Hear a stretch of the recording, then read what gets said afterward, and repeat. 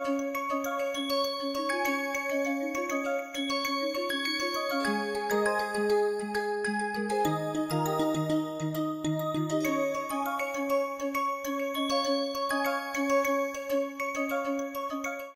okay, let us uh, continue our discussion on uh, Poisson process. So, before that uh, in the last class uh, we introduced what is a stochastic process and uh, then uh, we introduce some properties like what is a counting process and then what we meant by independent increments and based on these properties we defined a process called Poisson process. So, we are going to look at uh, some of the properties of this Poisson process and uh, try to prove them as you will see that uh, uh these properties uh,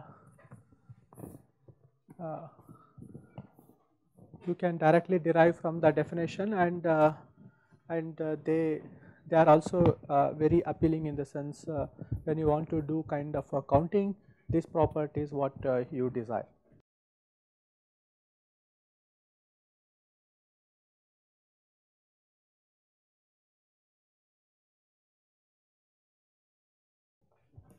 So, these are the properties we said uh, that n is if uh, a Poisson process a random process is a Poisson process with rate lambda. That means n, n is a counting process L has independent increments. And if you take any interval or any indices t and s then the number of counts so we said that this is nt minus ns has Poisson distribution with a rate which is lambda times the length of that interval t minus s. So, we are going to today see the following properties.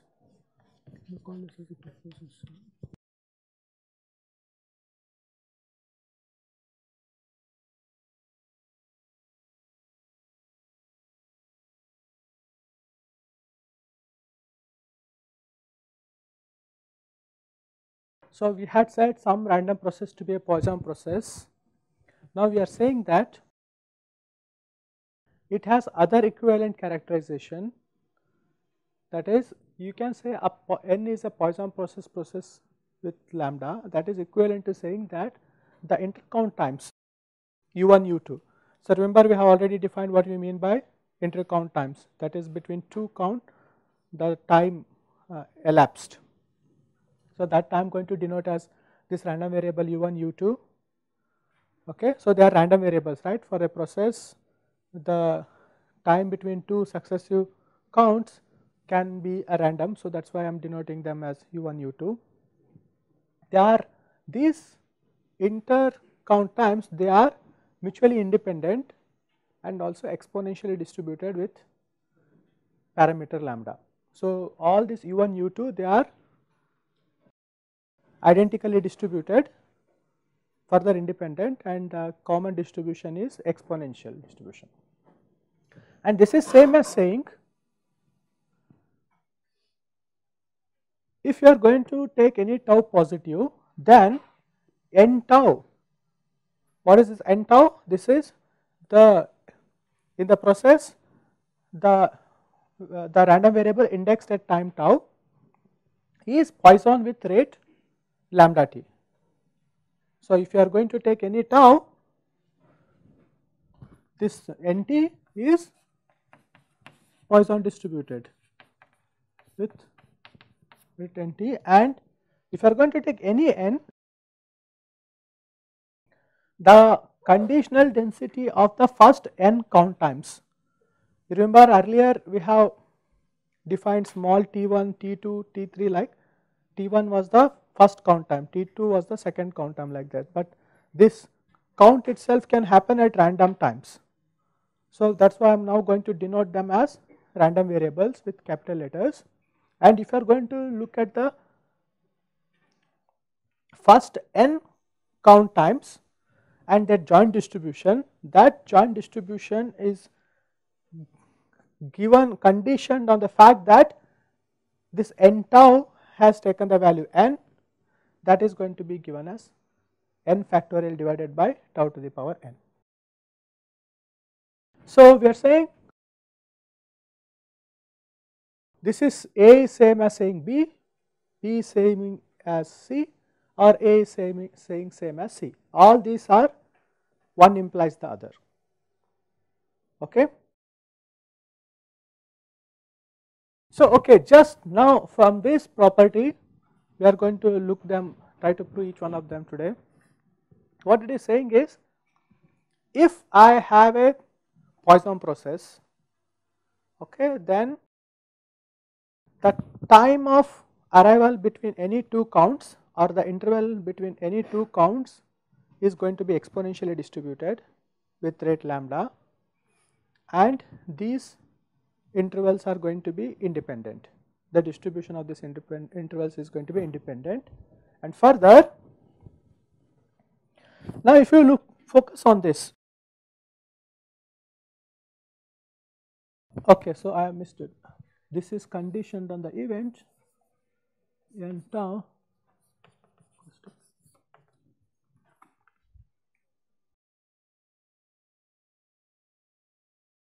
Suppose let us say nt if the Poisson process says that at the time t tau sorry tau n counts has happened you are conditioned upon this. Now you want to see that what is the joint distribution of this. So first count happened at time index t1, second count happened at t2 and let us say the nth count happened at time tn.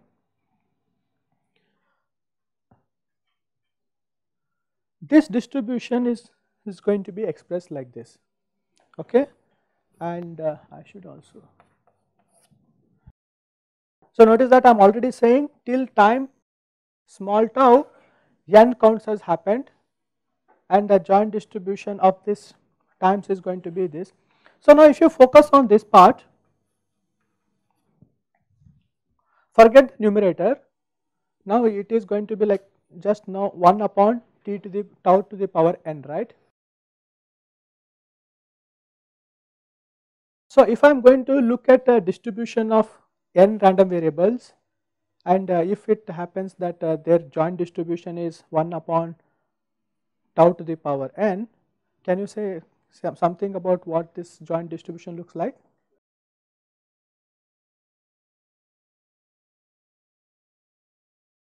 So just take n equals to 1. So I am saying 1 upon tau.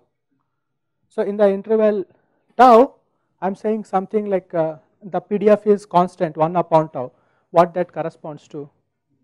Uniform, right something. Now I am saying the joint distribution of n random variable is kind of 1 upon tau to the power n. It, it, what does this imply in a way? What? Yeah, there are n uniformly distributed random variable each with parameter tau and they are independent right. So, they are getting multiplied 1 upon tau into 1 upon tau into. Further I have to look at such kind of ordering these uniform random variables further I need to condition that the outcome of the first random variable is smaller than the outcome of the second variable and the outcome of the second random variable is smaller than the outcome of the third random variable. So, I need to further condition on this. So, if I further condition on this I am going to get this factor 1 by n factorial in the denominator. So, when it the n factor goes in the numerator. So, this this n factor is coming due to the fact that I am looking for this t1 t2 be such that they are in arranged in the increasing order. So, in a way there are two distributions that are related to my Poisson distribution.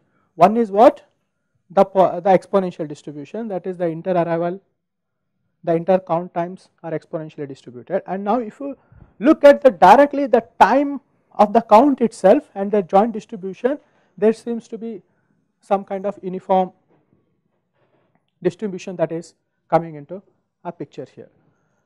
So, so let us try to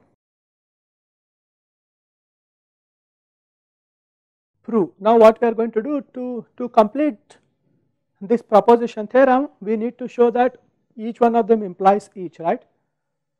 So I have to show that A implies B A also implies C and if I take B it should be the case that B implies A as well as B implies C as well as if I take C it should be the case that C implies A and C implies B.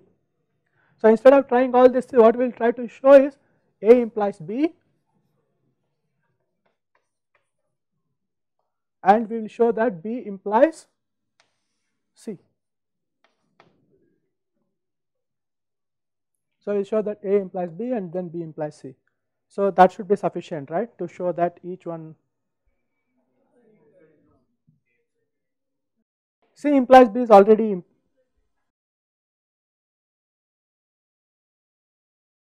C okay oh sorry I have to do this and I will do this.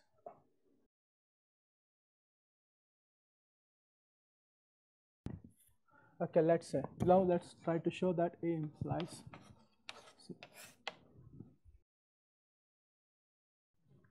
So let's assume that uh, N is a Poisson process.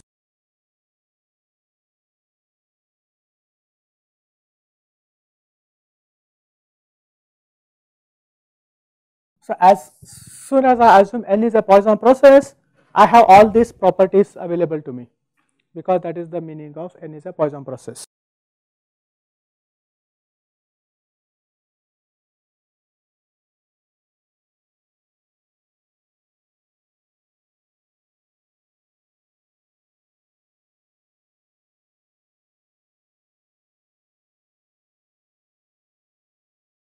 So now let us take any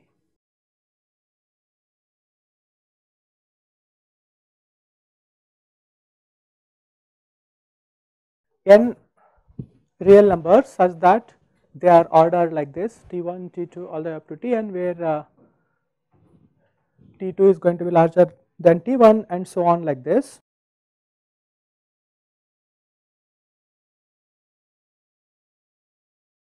So now think of them as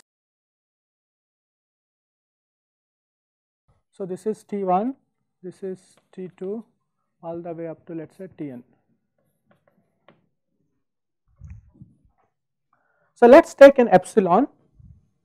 And now what I am going to do is I am going to look at a small region.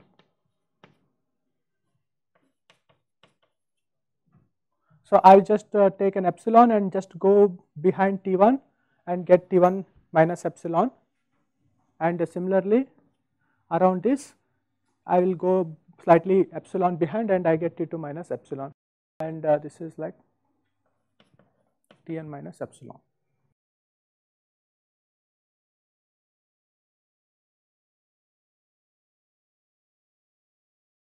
Okay, now what I want to do is I want to look at these intervals here.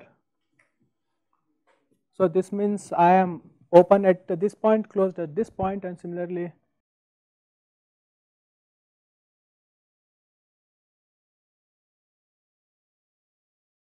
okay. Now let us try to find joint distribution of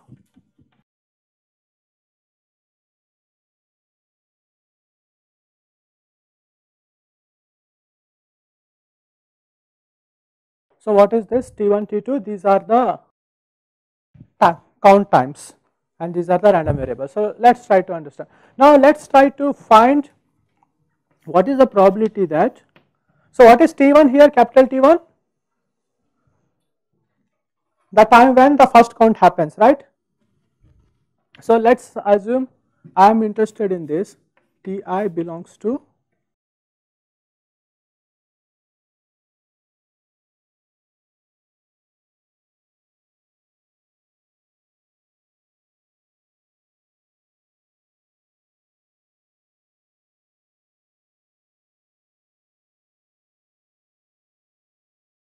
okay.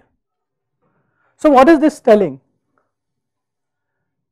I am interested in when I take T1 I am asking the question the probability that the first count happen in this interval T1. So T1, T2 they are some given numbers to me. Now T, Ti is a random variable right now I am basically asking the question okay this Ti that means the ith count happening in this interval okay and now I want I am looking at a joint distribution and I want this to happen this condition for all i 1 to n. Now if I now I want to express this in such a way that I can go and apply my independent increment properties. So I want let us say I want to apply this how, how can I express this probability to exploit my independent increment property. So one thing I can now do is what I am basically asking is the first count should be happening here right that is T1 capital T1 is T1 minus epsilon and T1. If that is the case then there should be no count happened before that right and the first count should have happened here. And then if I want T2 to be again in this interval they should no count should have happened in this interval and the next count should have happened in this interval then then my T2 is going to fall in this interval right. So, so then this is same as asking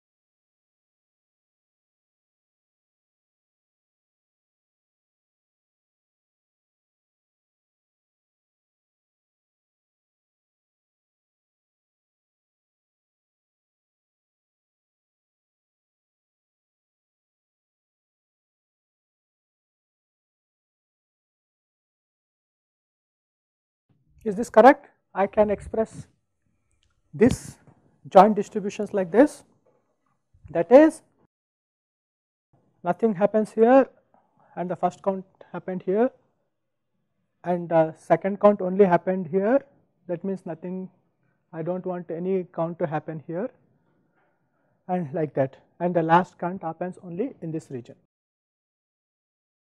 So you see that now I have expressed this quantity in terms like uh, in terms of the increments. Okay. So now I want to expand this.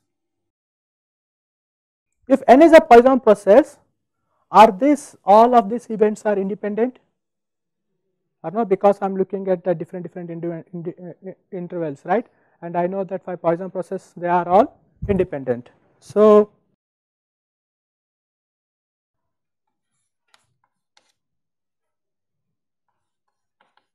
And now I am going to further exploit the property that, so now if I am going to look at, no first consider the case, so I can write them as probability, okay just let me write it for in terms of the probability first, probability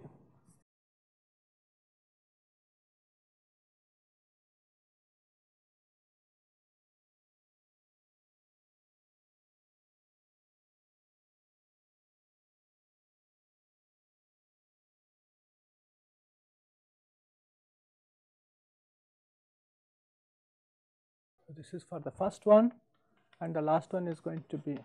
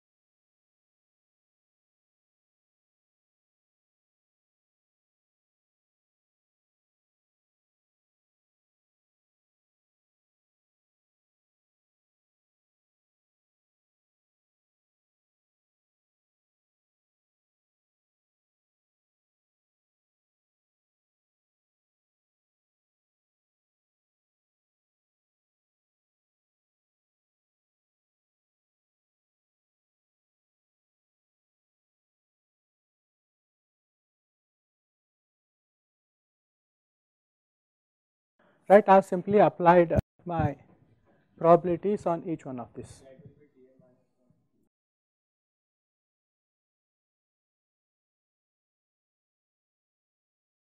Yes. Right. Now, this is coming from what like as I said this is coming from independent increment properties. Now further what is the third property of the Poisson process? It is going to be Poisson right like if you are going to. So I could uh, as well write this guy as like n minus uh, 0 here at 1 and uh, I could just take n0 as 0 itself. Now what is this probability is going to be sorry this is 0. What is this? What is the length of this interval? T1 minus epsilon and I am asking so this is going to be Poisson process with what rate? Lambda into T1 minus epsilon right. Now what is the probability that a Poisson process with rate lambda T1 minus epsilon takes the value 0 e to the power Here the length of interval is simply T1 minus epsilon, right. Now what is the probability that it takes value 1? The length of the interval here is,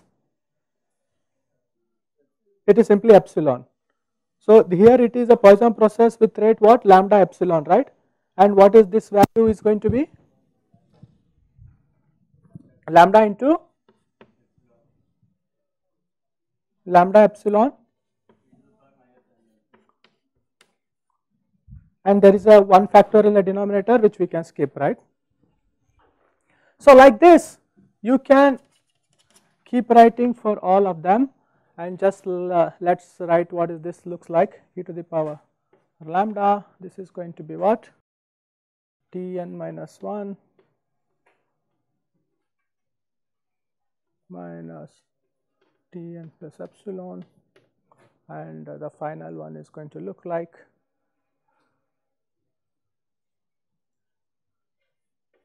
lambda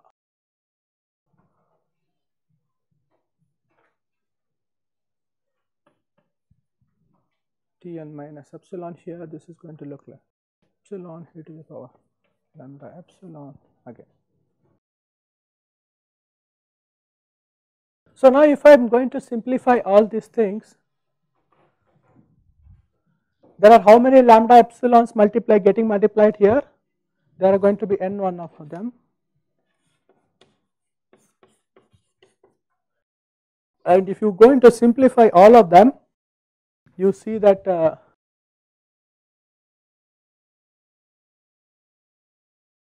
some subtraction is going to happen because T1 is happening it will also come as minus T1 later and uh, if you are going to simplify that what it will end up is simply it is for minus lambda Tn. Okay. So whatever this probability I was looking at this joint distribution it is now lambda epsilon. So this I am going to simply write as lambda n epsilon n into it or lambda T. And now let us say I am now want to take this probability that Ti belongs to Ti minus epsilon comma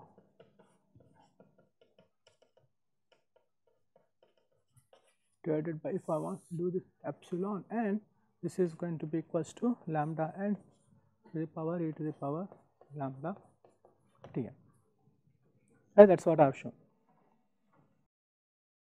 So now if you are going to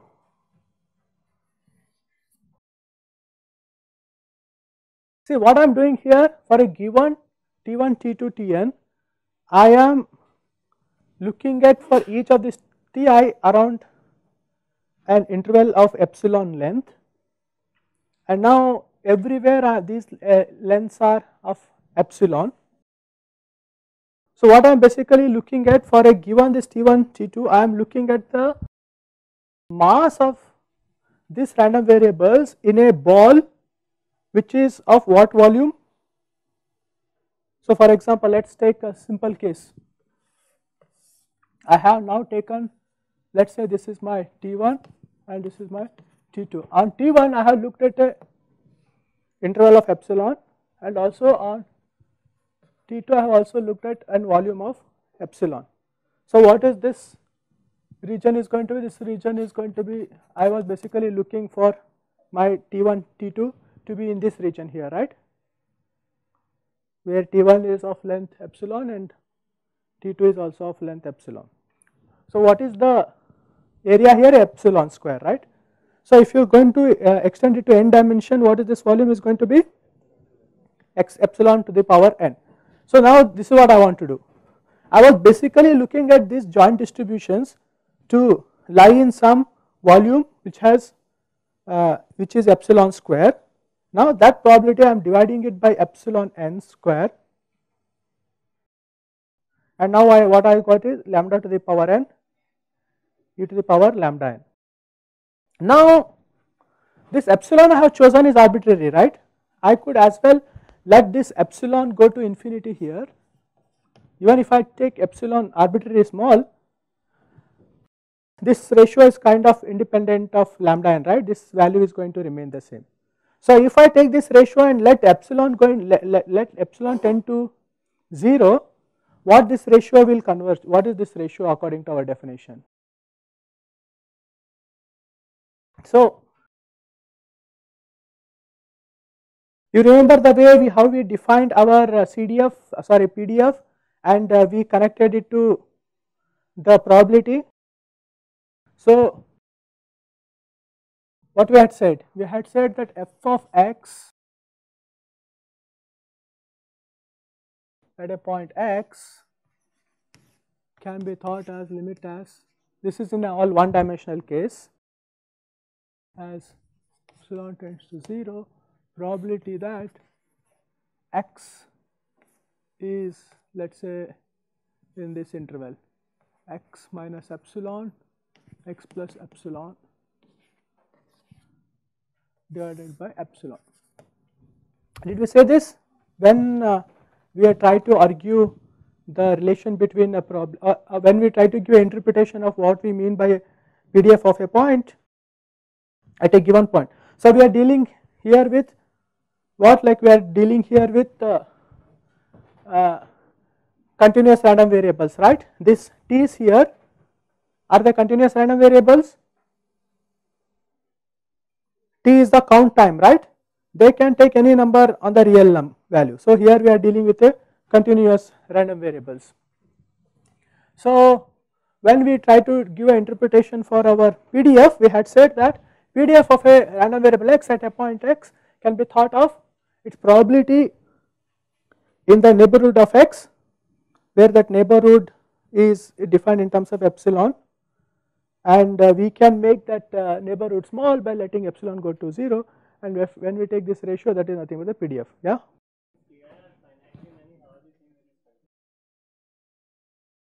TI Yeah, these are finite, but each one of them can is a continuous random variable. I am talking about individual one, right? So each one of them itself is a, it can take any positive, any real number. So, so if you have this probability and if you just let epsilon go to 0 in this fashion, that is nothing but the CDF. Now we can apply the same definition here, right? But here instead of a real line, we are in a n dimensional space that is what instead of just epsilon we are looking at epsilon to the power n which corresponds to area uh, which is the volume volume in the n, n dimensional space. So due to this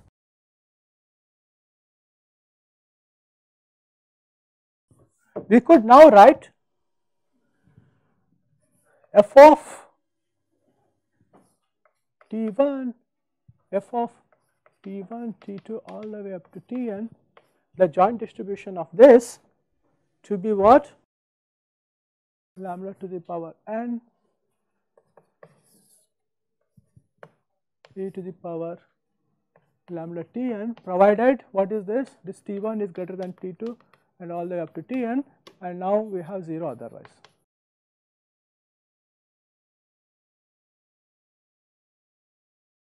Is this correct? Are you convinced? And what is this? This is the joint distribution of this random variables. So this is what we just uh, derived by using the properties of my Poisson process. So it is clear that we use our second property here of the Poisson process that independent uh, increments. And then we use the properties of Poisson distribution the third property here. So did we use anywhere the property the first property which was which said that uh, the Poisson process is a counting process?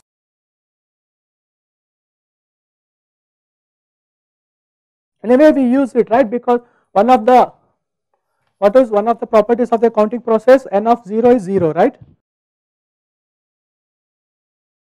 I mean we use part of that like counting process is much more but uh, we partly used uh, some part of the definition of the it being a counting process here.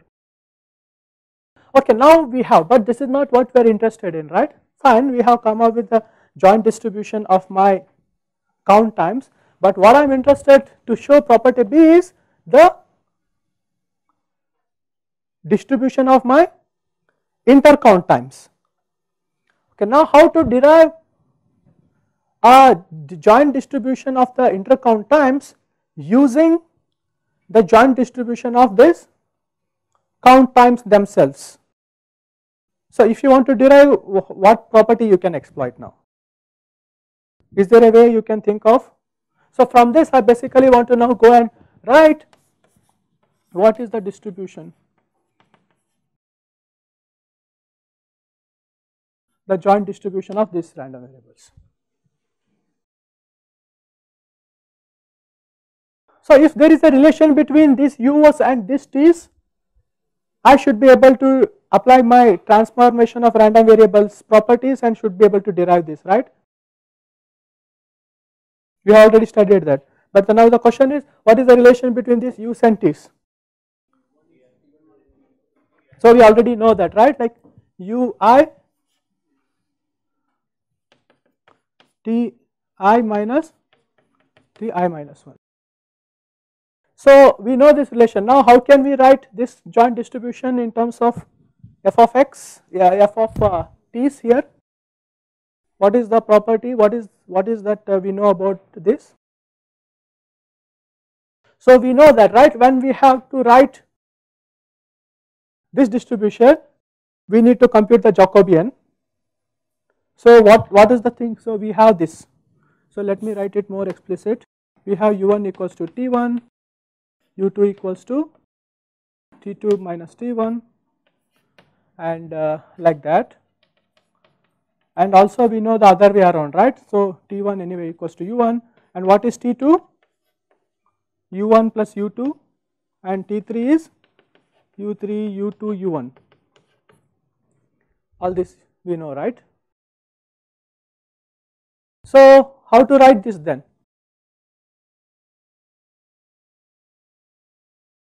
So we already know that this is nothing but u1 to un of un u2 to un is equals to f of t1 t1 t1 we up to tn. What was this and what we had here? A Jacobian matrix, right? Determinant of a Jacobian matrix. And what was that? So can somebody quickly compute what is the Jacobian matrix here? It's going to be 1. Why is that? You are just going to get a So whatever you can just compute that and finally whatever we want here will have a unit determinant. So now how to express this? I have this T1 but T1 is u1 and tn is sum of all the random variable but this distribution only depends sorry it should be tn here on tn here. So what is tn in terms of u's? tn is nothing but sum of ui's right. So because of that you could write that as lambda n e to the power minus lambda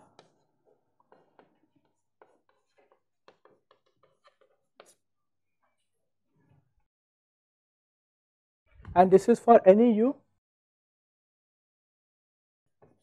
and this is going to be 0 otherwise.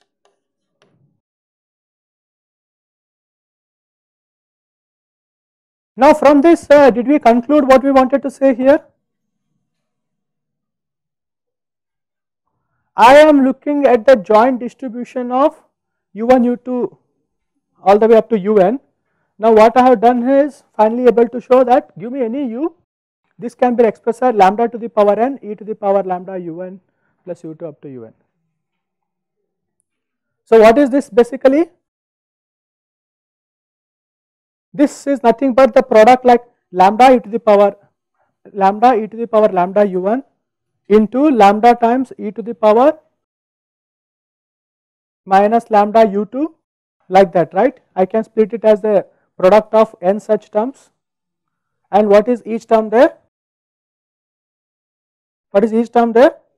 It is an exponential random variable with parameter lambda. So that is what exactly the claim and why they why I am saying independent